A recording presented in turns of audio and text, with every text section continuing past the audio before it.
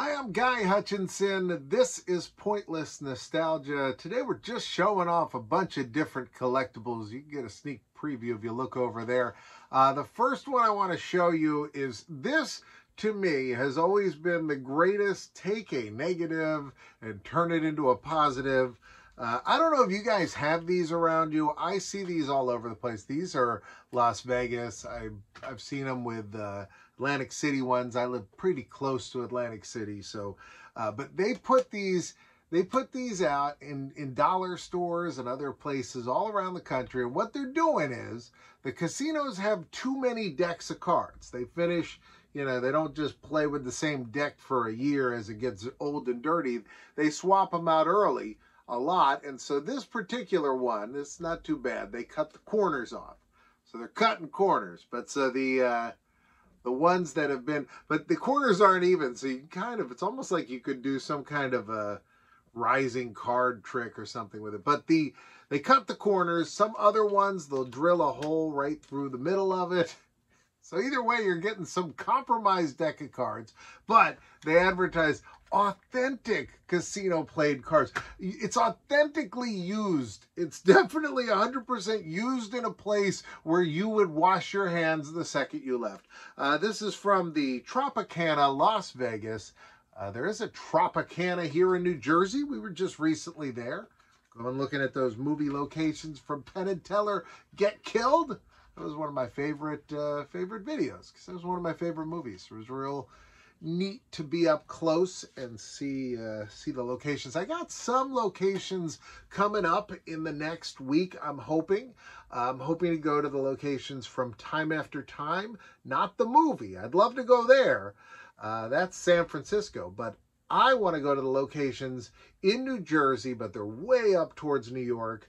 Uh, from time after time, Cyndi Lauper from the video where she's in like the cabin. No, she's in like a trailer out in the woods, and then she she leaves him. She's going to the train station. Her mom's a ghost, to lose a chef at a diner. It's a lot of fun.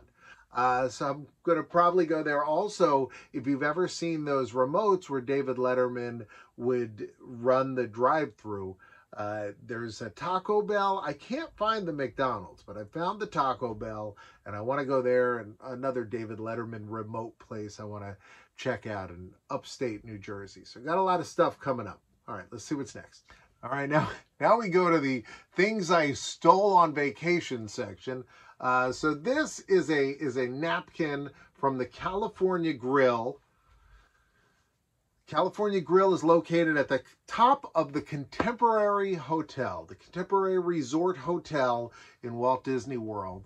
Um, I, my, my, the thing I always say on camera is, is I asked for permission before I took it. But the truth is, I usually ask for permission, and I did on this one.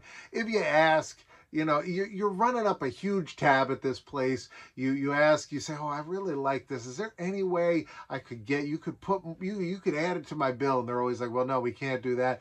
And usually they'll say you know what? Just just take it just take it. And so you kind of just you're still kind of smuggling it out because like the waitress isn't checking with anybody. So you know if you get stopped at the door but really again you spend all this money. The disney the guy at the door isn't going to be like i think that guy's stealing the napkin we better get that napkin back. Uh, but yeah, this is the napkin. I just love that it's embroidered. Um, and I bet other people take these because of that. But I'm sure also they probably get rid of these very often. But I love this. I think this is very cool. I use it at my bar, so I wipe down the bar with it. Uh, but thankfully, I don't spill very often, so it's still in still in about the same shape as the day I got it. Now here's the stuff I stole out of my hotel room.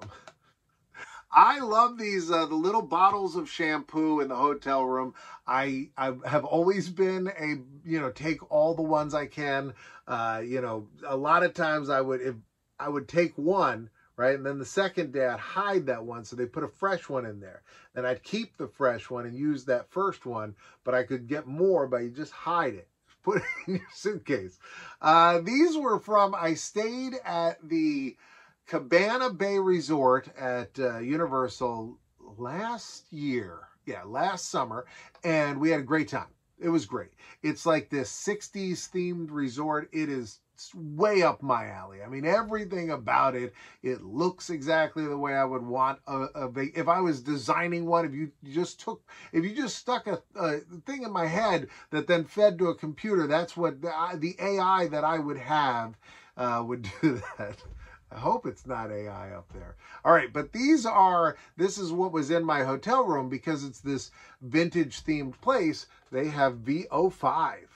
Yeah, VO5. And so this is actually the bottle. I didn't do my trick to get an extra one. I, I just didn't remember to. So I took, this is what I got, but that's fine. Okay, you know, I mean, this is, it's authentic. I actually used this. And then I didn't condition nearly as much, but there's the uh, conditioner. And I just love that. I mean, it's just so retro. It's so cool. Put a smile on my face. So the VO5, very retro. This is a very old item I have. I showed this on a short once, but I've never shown it on a video, I don't believe. But this I got from my grandmother. Uh, and so, yeah, she had VO5 in her in her bathroom, I'm sure.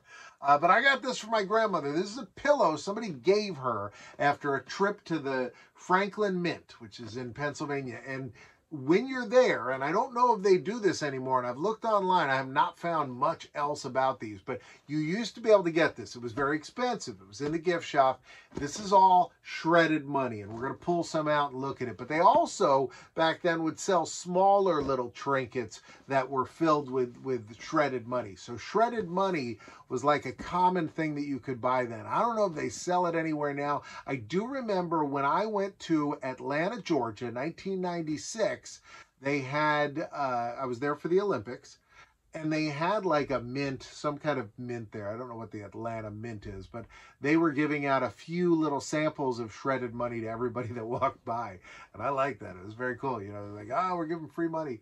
Uh, so anyway, this is a, a, pillow. My grandmother had it on her couch and I was fascinated with it. You know, from the day she got it and like every time I'd go over there and I was at my grandma's house like almost every day and I'd still like always look at it and I'd just stare at it and try to, you know, like find like a five or something. And so one day she was like, I, I want you to take it, take it. And I said, why? And she was, I was like, no, no, I don't want to take it. It's yours. She's like, no, it's not comfortable. I'm like, no, you're right. It is not comfortable. And so uh, I've always had this, though, in the house. Never slept on it. Uh, it is hard plastic, which is also a grandma thing. You know, they used to have those plastic covers on the couches. Uh, but hard plastic with dollars in there. My grandmother also had the runners on the carpet, the plastic runners, so you couldn't step on her. You didn't, nobody touched anything in her house. We all walked through a plastic platform and then sat on a plastic cover on the couch. All right, here we go. Here is some of the shredded money. So I'm going to show you, you can, it's kind of cool. You can try to like make out parts of it. Let's see how good the focus will be on this. Like the edge of a bill. See, that's just like the edge. And they're all like a full cut. So you get like the whole, get a cross section. This is the stuff I always looked for. This was always the fun part. Like, look, there's five. It's five. It's a $5 bill. I posted this as a short and the comments were, hey, it's illegal to shred money. So either you're a liar or a criminal and an idiot. So uh, I guess I would be if I was if I stole a lot of money and shredded it up to make pillows. That's how rich I was from my crimes. Uh, but no, this was at one time this was totally not only legal, but the U.S. government sold it in a gift shop. Uh, I don't know if shredded money in this form is, is legal, but I would think it is. I just think they they're not looking to have too many. like this is something like you're like a rapper, you, this should be your couch. You got like a whole shredded money cow, a, YouTuber. That's who needs this. Like MrBeast. All right, two more, two more. Uh, this is a stuffed animal, but he is obviously he's a pervert because he's wearing his coat. Uh, you know, this is McGruff the crime dog, but I would say this is not a stuffed animal because it is made out of a material that it can't, it's not like something you can cuddle up with. It's hard. Uh, it's designed to stand up like on a shelf pretty cool though. He's got a little tag, take a bite out of crime. I love the McGruff videos are some of my favorite. I love them. All right, this is the last thing I got for today. This is by ThumbEase. It's a Flintstones dictionary. Now the first thing, the first page is Phyllis Diller says Diller's deal. It says that you get Wrangler jeans for only $7.77. I don't know what's going on.